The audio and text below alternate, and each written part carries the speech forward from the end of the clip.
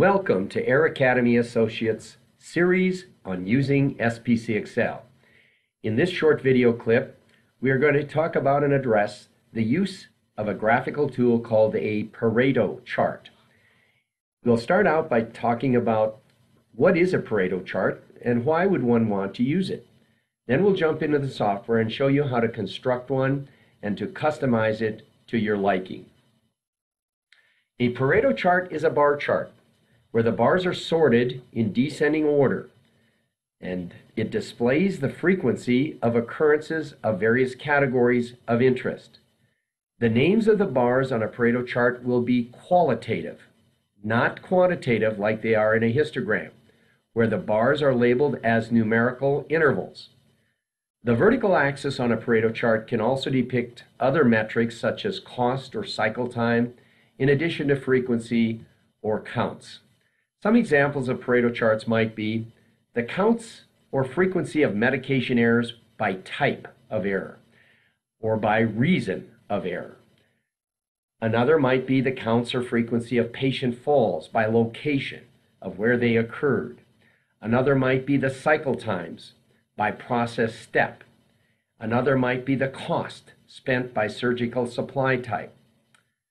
A Pareto chart helps us answer questions such as what type of error happens most frequently? What process steps take up the majority of time? What a Pareto chart does is helps us focus. It helps us prioritize. And that alliterative effect, prioritize and Pareto go hand in glove together. So just remember the PP connection. We use a Pareto chart to help us prioritize. So let's take an example of a team that was tasked to reduce the number of medication errors. And they reviewed their records over a certain period of time, and they showed that 114 errors were recorded over a certain period of time. And the frequency of each type of error was recorded. These are errors or reasons for the medication errors. So the reasons include illegible orders, dispensing errors, calculation errors, etc., as you can see in the table on the left. And the second column denotes the number of times they recorded an illegible order or a dispensing order and so forth. So there's two columns here. The leftmost column gives the category of interest. The rightmost column tells you the frequency or the number of times that category occurred. So when we go to the Pareto chart in SPC XL, which is really easy to get, you just highlight your data and then you select from the Analysis Diagrams menu, the Pareto chart. And all of this comes from the Sigma Zone ribbon. Once we've highlighted our data, as shown here, the Pareto and select Pareto chart, we will be asked for where is your data stored or where do I get the data? If we've already highlighted it, you can just click on next. If we haven't highlighted it, this is the place where you click and then you highlight your data. The next user interface window that you will get after clicking on Next will show you different options for the bar type. There are three different options. 2D means a two-dimensional bar with the cumulative line, with the cum line. That's what's currently checked. If you don't want the cum line and still want 2D bars, you click here. If you would like to see maybe a fancier little bit of a Pareto and three-dimensional bars, without a cum line, you click on this.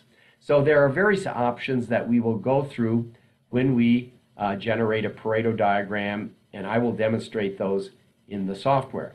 You do not have to have a cum line, but since the cum line is um, checked here and we click on finish, the Pareto diagram that you will see will have the cum line on it as shown in the Pareto diagram here on the left.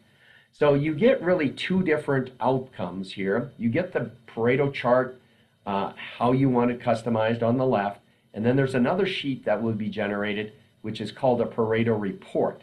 It summarizes in biggest values to smallest values from a count, and it tells you the percentage of the total that that count represents. For each, in this case, we have six different groups or categories, and the cum line here is what we get is if we stack the first bar on the second bar, the cumulative uh, count will be up here, and that'll be around 75%.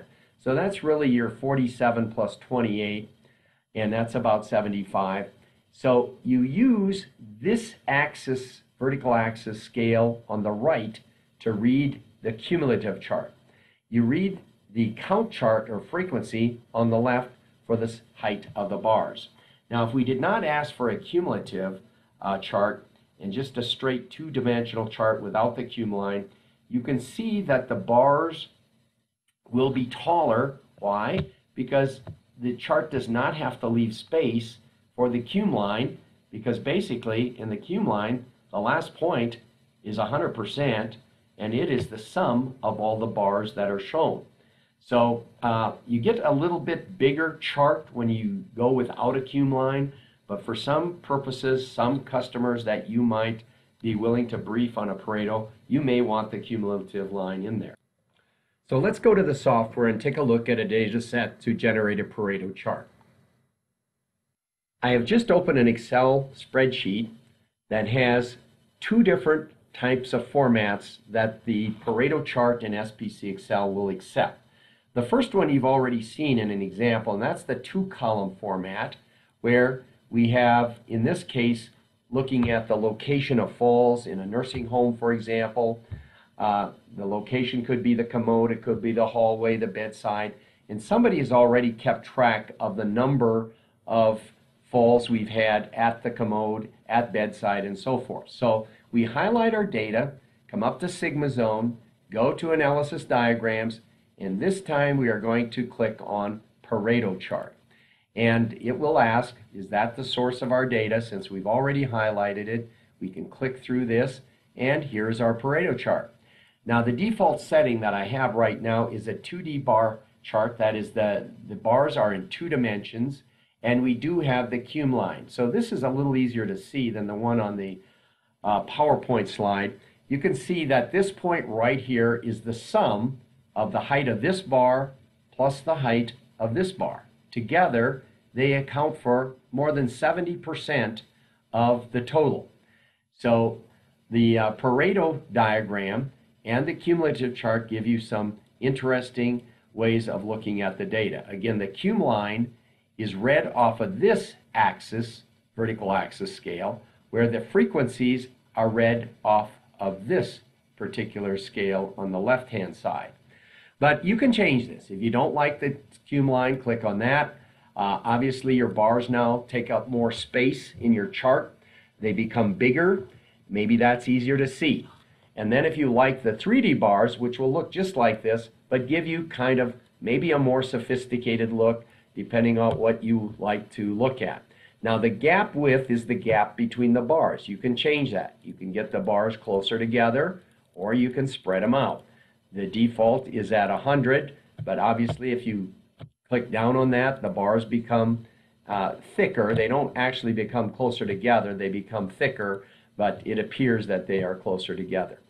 Uh, the groups, we only had five groups here, but I want to show you something.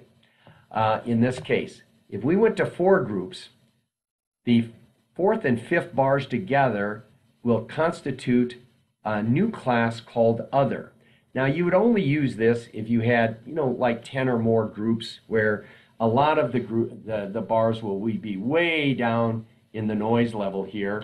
Uh, but um, if we go to four, that's the total number of groups that will be shown. But since we originally had five groups or five different categories, uh, the fourth and fifth one will be combined together into a new category called other. So let's go back to the 2D bars and you can see this. And uh, this is the one I kind of like because it's a plain plain chart with uh, the bars being very big on your chart. Now you can save these settings as the default. Uh, you can also look at the bars in an ascending way. And uh, let's go back to the five categories here, which was the original one.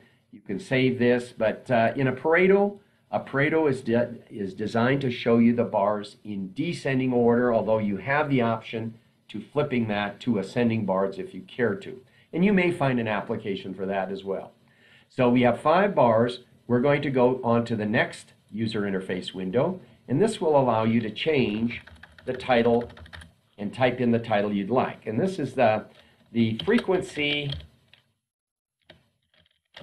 of falls versus location of fall. Now I press enter and I get a new title up there. The group now, we probably would like to change that to what these different categories represent, which is the location of fall. So when we do that, we have now properly annotated the horizontal axis here. And again, a Pareto is a bar chart for non-numerical categories. Bedside, hallway, commode, shower tub area, off unit.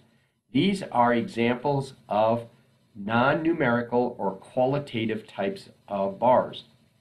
So at this point, uh, you can create a Pareto or you don't have to. I would leave that checked. The default is checked because I'll show you that in a second.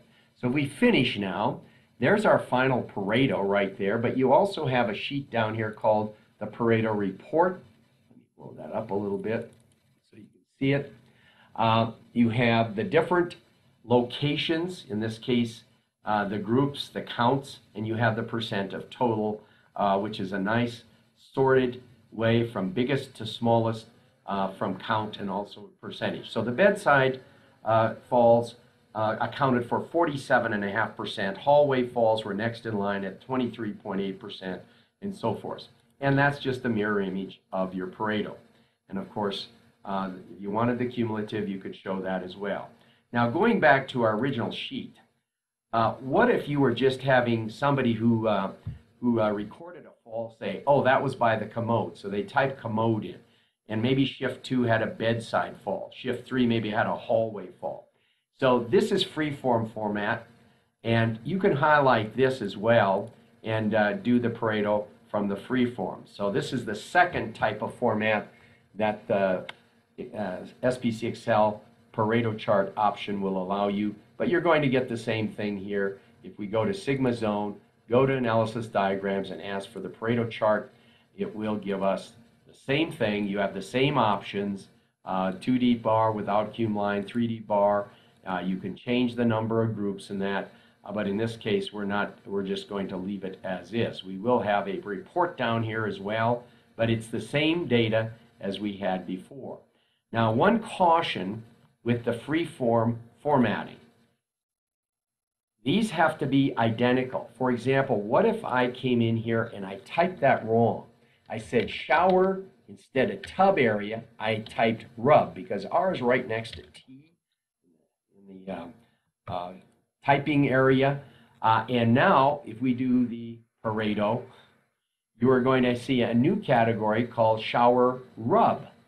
And uh, so the point I'm trying to make is if you use the free-form Pareto uh, format, uh, you probably uh, will run into some typos, but you'll, you'll catch those as very small classes uh, down here on the Pareto. So shower rub now is uh, one of your new classes. And of course, that's a typo. And you go back to Pareto uh, just finish on this. Now we have six classes. Before we had five. And uh, if you look at your Pareto chart, we had seven shower tub falls before. Now we have six, and we have one shower rub fall, which makes no sense, obviously. But the bottom line is, uh, in your data, you have two data formats that you can use for um, for uh, SPC XL's Pareto chart option. It's the two column format where the category or the group is on the left and the count numbers are on the right, or you can do it in a free form manner like this, where people just type in something and then you want to accumulate the results. So that is uh, our um, Pareto chart, a very simple tool, but a very valuable tool for helping us prioritize the different categories that we might be interested in. So thank you for joining us uh, on the Pareto chart and have a good day.